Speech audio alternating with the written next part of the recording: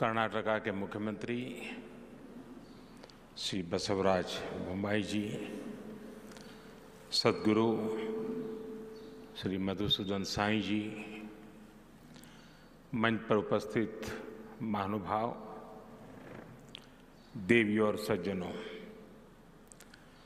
ಕರ್ನಾಟಕದ ಎಲ್ಲ ಸಹೋದರ ಸಹೋದರಿಯರಿಗೆ ನನ್ನ ನಮಸ್ಕಾರಗಳು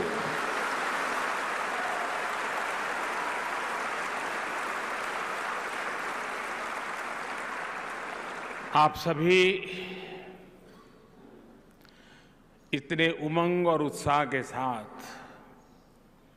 अनेक सपने लेकर के, नए संकल्प लेकर के, सेवा की इस महान प्रवृत्ति में जुड़े हैं। आपके दर्शन करना ये भी मेरे लिए सौभाग्य है। मैं आपका बहुत बहुत आभारी हूँ। चिक्कबल्लापुरा, आधुनिक भारत के आर्किटेक्ट्स में से एक सर एम विश्वेश्वरैया की जन्मस्थली है। अभी मुझे सर विश्वेश्वरैया की समाधि पर पुष्पांजलि का और उनके म्यूज़ियम पर जाने का सौभाग्य मिला। इस पुण्य भूमि को मैं सर झुका करके नमन करता हूँ। इस पुण्य भूमि से प्रेरणा लेकर ही उन्होंने किसानों, सामान्य जनों के लिए नए इनोवेशन किए इंजीनियरिंग के बेहतरीन प्रोजेक्ट्स बनाए। साथियों इस धरती ने सत्य साई ग्राम के रूप में भी सेवा का एक अद्भुत मॉडल देश को दिया है। शिक्षा और स्वास्थ्य के माध्यम से जिस प्रकार मानव सेवा का मिशन यहाँ चल रहा है, वो वाकई अद्भुत है। आज जो यहाँ मेडिकल कॉलेज शुरू हो रहा है इससे मिशन और सशक्त हुआ है। Shri Madhusudan Sai institute of medical science and research हर वर्ष अनेक नए प्रतिभावान डॉक्टर देश की कोटि कोटि जनता की सेवा में राष्ट्र को समर्पित करेगा। मैं संस्थान को और चिक्क बल्लापुरा यहाँ के सभी लोगों को बहुत बहुत बधाई देता हूँ। भाई और बहनों, आज़ादी के अमृत महोत्सव में देश ने विकसित होने का संकल्प लिया है। कई बार लोग पूछते हैं कि भारत इतने कम समय में, क्योंकि मैंने कहा ट्वेंटी फोर्टी सेवन, जब आज़ादी के सौ साल होंगे तो लोग पूछते हैं कि इतने कम समय में भारत विकसित कैसे बनेगा? इतनी चुनौतियाँ हैं, इतना काम है, इतने काम कम समय में पूरा कैसे होगा? इस सवाल का एक ही जवाब है, सशक्त जवाब है, संकल्प से भरा जवाब है। सिद्धियाँ प्राप्त होने की ताकत वाला जवाब है, और वो जवाब है, सबका प्रयास।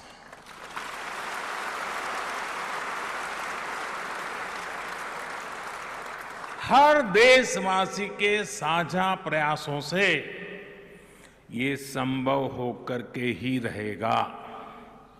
इसलिए भाजपा सरकार निरंतर सबकी भागीदारी पर बल दे रही है। विकसित भारत के लक्ष्य की प्राप्ति में हमारे सामाजिक संगठनों की, धार्मिक संगठनों की भूमिका भी बहुत बड़ी है। कर्नाटका में तो संतों, आश्रमों, मठों की महान परंपरा रही है। ये धार्मिक और सामाजिक संस्थाएँ आस्था और आध्यात्म के साथ साथ गरीबों, दलितों, पिछड़ों, आदिवासियों को सशक्त करती रही है। आपके संस्थान द्वारा किए जा रहे सामाजिक कार्य भी सबका प्रयास की भावना को ही सशक्त करते हैं। साथियों, मैं देख रहा था, श्री सत्य साई यूनिवर्सिटी का ध्येय वाक्य है, योग कर्मसु कौशलम। अर्थात कर्मों में कुशलता ही योग है। बीते नौ वर्षों में भारत में भी स्वास्थ्य सेवाओं को लेकर बहुत ईमानदारी से, बहुत कुशलता से कार्य करने का प्रयास किया गया है। देश में मेडिकल एजुकेशन से जुड़े अनेक रिफॉर्म्स किए गए हैं। इसे सरकार के साथ साथ जो दूसरे संगठन हैं, उनके लिए भी अस्पताल और मेडिकल कॉलेज खोलना अब आसान हो गया है। सरकार हो प्राइवेट सेक्टर हो, सामाजिक सेक्टर हो, सांस्कृतिक गतिविधि हो, सभी के प्रयासों का परिणाम आज दिख रहा है। साल 2014 में हमारे देश में 380 से भी कम मेडिकल कॉलेज थे। लेस देन 380 आज देश में मेडिकल कॉलेजों की संख्या बढ़कर के 650 से भी अधिक हो गई है। इनमें से 40 मेडिकल कॉलेज एस्पिरेशनल डिस्ट्रिक्ट्स में बने हैं, जो ज़िले विकास के हर पहलू में पीछे थे, वहाँ पर मेडिकल कॉलेज बने हैं। साथियों, पिछले नौ वर्षों में देश में मेडिकल सीटों की संख्या लगभग दोगुनी हो चुकी है। आज़ादी के 75 वर्षों में जितने डॉक्टर देश में बने, उतने डॉक्टर अगले 10 साल में बनने जा रहे हैं। ये जो काम देश में हो रहा है, उसका लाभ कर्नाटका को भी मिल रहा है। कर्नाटका में आज लगभग 70 मेडिकल कॉलेज है। डबल इंजन सरकार के प्रयासों से जो मेडिकल कॉलेज बीते वर्षों में बने हैं, उनमें से एक यहाँ चिकबल्लापुरा में भी बना है। इस वर्ष की केंद्र सरकार के बजट में तो हमने 150 नर्सिंग संस्थान बनाने की भी घोषणा की है। इससे नर्सिंग के क्षेत्र में भी युवाओं के लिए बहुत अवसर बनने वाले हैं। साथियों आज जब मैं आपके बीच आया हूँ तो भारत के मेडिकल प्रोफेशन के सामने रही एक चुनौती का भी ज़िक्र ज़रूर करना चाहूँगा। इस चुनौती की वजह से गाँव के, गरीब के, पिछड़े समाज के युवाओं के लिए डॉक्टर बनना बहुत मुश्किल था।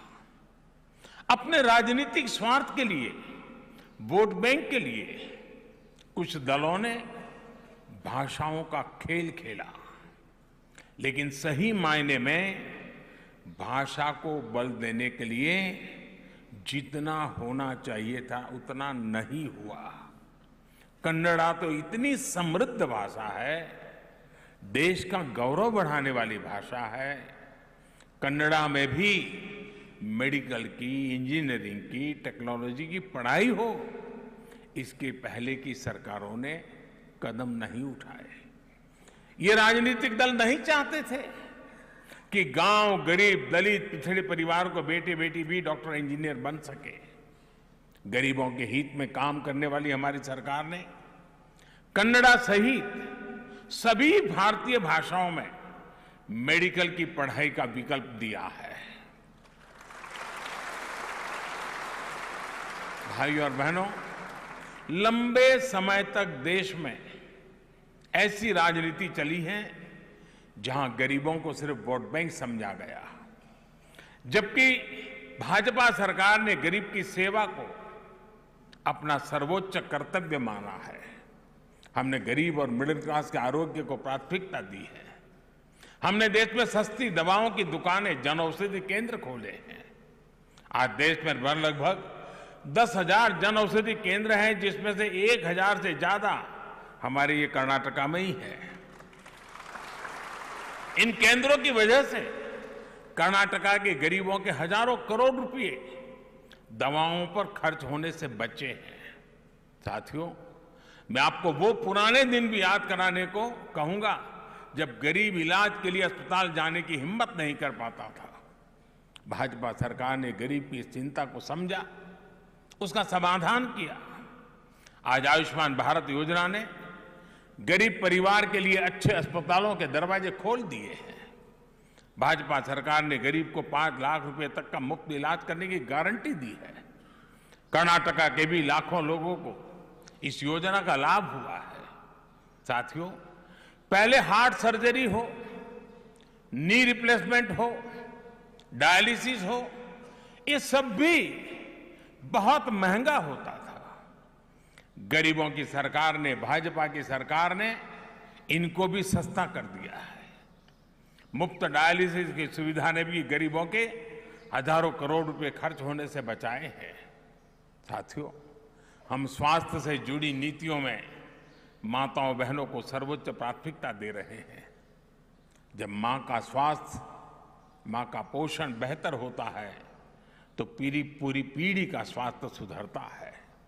इसलिए चाहे शौचालय बनाने की योजना हो, मुफ़्त गैस कनेक्शन की योजना हो, हर घर तक नल से जल पहुँचाने की योजना हो, मुफ़्त सैनिटरी पैड्स देने की योजना हो, या पौष्टिक खाने के लिए सीधे बैंक में पैसे भेजना हो, ये सब माताओं बहनों के स्वास्थ्य को ध्यान में रखते हुए किया जा रहा है। विशेषकर ब्रेस्ट कैंसर को लेकर भी भाजपा सरकार सतर्क है। अब गाँवों में जो हेल्थ एंड वेलनेस सेंटर खोले जा रहे हैं, वहाँ पर ऐसी बीमारियों की स्क्रीनिंग का प्रयास हो रहा है। मकसद यही है कि शुरुआती दौर में ही बीमारियों की पहचान की जा सके। इससे माताओं बहनों के जीवन पर बड़े संकट को हम रोकने में सफल हो रहे हैं। मैं बोम्बाई जी और उनकी टीम को बधाई दूँगा। कि कर्नाटका में भी 9000 से अधिक हेल्थ एंड वेलनेस सेंटर बने हैं। हमारी सरकार बेटियों को ऐसा जीवन देने में जुटी है, जिससे वो खुद भी स्वस्थ रहे और आगे जाकर के संतान भी स्वस्थ रहे। भाई और बहनों, आज मैं कर्नाटका सरकार की एक और वजह से प्रशंसा करूँगा। बीते वर्षों में भाजपा सरकार ने एएनएम और आशा बहनों को और सशक्त किया है। उन्हें आधुनिक टेक्नोलॉजी वाले गैजेट्स दिए गए हैं। उनका काम आसान बनाया गया है। कर्नाटका में आज लगभग पचास हज़ार आशा और एएनएम कार्यकर्ता हैं। लगभग एक लाख रजिस्टर्ड नर्से और दूसरे हेल्थ वर्कर हैं। डबल इंजन सरकार इन सभी साथियों को हर संभव सुविधाएँ देने के लिए जीवन आसान बनाने के प्रयासरत है। साथियों, आरोग्य के साथ साथ माताओं, बहनों, बेटियों के आर्थिक सशक्तिकरण पर भी डबल इंजन सरकार का पूरा ध्यान है। ये धरती तो मिल्क और सिल्क की धरती है। ये हमारी सरकार है जिसने पशुपालकों के लिए भी किसान क्रेडिट कार्ड की सुविधा सुनिश्चित की है। पशुओं का स्वास्थ्य ठीक रहे। इसके लिए सबसे बड़ा मुफ़्त टीकाकरण अभियान भी हमारी सरकार ने चालू, शुरू किया। इस अभियान पर बारह हज़ार करोड़ रुपए खर्च किए जा रहे हैं। डबल इंजन सरकार का यह भी प्रयास है कि डेयरी कोऑपरेटिव में महिलाओं की भागीदारी और अधिक बढ़े। गाँव में महिलाओं के जो सेल्फ हेल्प ग्रुप्स हैं, उनको भी सशक्त किया जा रहा है। साथियों, जब देश स्वस्थ रहेगा, जब विकास में सबका प्रयास लगेगा तो विकसित भारत का लक्ष्य हम और तेज़ी से प्राप्त करेंगे। मैं एक बार फिर से श्री मधुसूदन साई इंस्टीट्यूट से जुड़े सभी साथियों को मानव सेवा के उस उत्तम प्रयास के लिए हृदय से बहुत बहुत बधाई देता हूँ।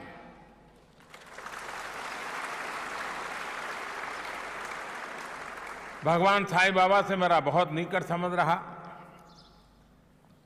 और हमारे श्रीनिवास जी से भी काफ़ी नाता रहा पुराना। करीब 40 साल हो गए इस नाते को। और इसलिए न मैं यहाँ अतिथि हूँ, न मैं मेहमान हूँ, मैं तो आप ही के यहाँ की धरती का ही संतान हूँ।